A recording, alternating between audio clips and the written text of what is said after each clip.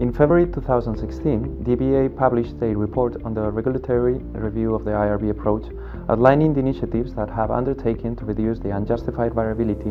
in the outcomes of internal models while preserving the risk sensitivity of capital requirements. In this context, the EBA has published in November 2017 the final guidelines on PD and LGD estimation and the treatment of, def of defaulted exposures, which are focused on the definitions and modeling techniques used in the estimation of both risk parameters for both non-defaulted exposures, PD and LGD, and for defaulted exposures, best estimate of expected loss and LGD in default.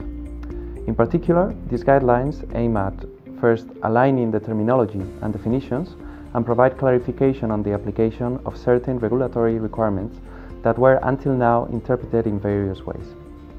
Second, specifying aspects common to all risk parameters such as the use of human judgment both in the development and in the application of the internal models, appropriate margin of conservatism that should be incorporated in risk parameters, and regular reviews of the models to ensure timely implementation of necessary changes in case of deteriorated performance of the models. And third, outlining some requirements for estimating parameters in order to determine and calibrate the capital requirements in an objective manner.